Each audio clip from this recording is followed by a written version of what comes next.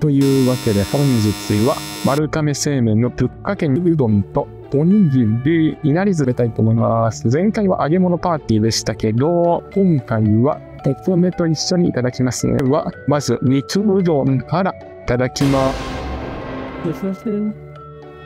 肉うどんとおにぎりってどんな味わいなのかなと思いながら食べてみたんですけど、これって、なんて言ったらいいんだろう？甘辛くてまるですき焼きみたいな味付けになってるな。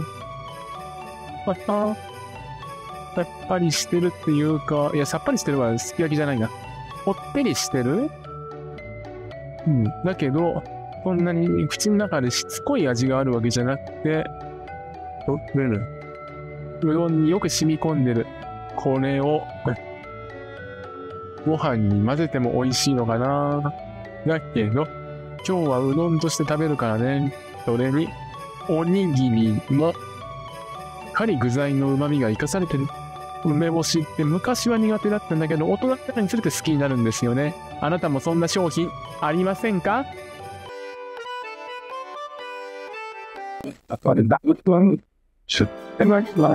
ごちそうさまでした。まず最初に食べた肉うどんです。甘辛い醤油風味の味付けがお肉から出汁に染み込んでいて、とても食欲がとても商品だけど、じっとしたうどんに染み込むのもよし、パンにじわっと感じるもよしで美味しかった。お肉にもしっかり旨味が出ています。玉ねぎがシャキシャキして歯応えがあるのでいいです。玉ねぎの歯応えは若干強みが分かれそうな気もします。自分は好きです。いなり寿司は噛んだ瞬間に中は中のご飯に染み込んだ旨味が広がることらしいです。各種おにぎりも梅の酸っぱさ、本体ごに結構強めの辛さ、昆布の食感、鮭の旨味、どれもふっくらとしたご飯とよく合ってました。ちょっとお店に置いてあるがゆえなのか、海苔は少ししっとりしていましたね。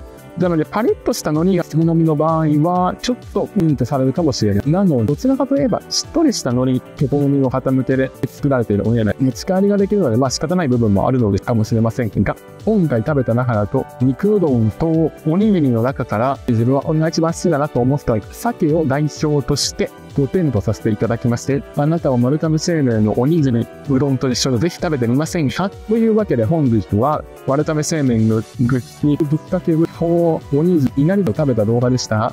でしたか？あなたはもし、この動画を見て、丸亀製麺のおにぎりやうどん食べてみたいと思ったのであれば、ぜひ食べていただける。そしてよろしければ、他の動画も見ていただけると、高評価、チャンネル登録、コメントをしていただけるととても嬉しいです。では、また次回の連絡でお会いしましょう。終演。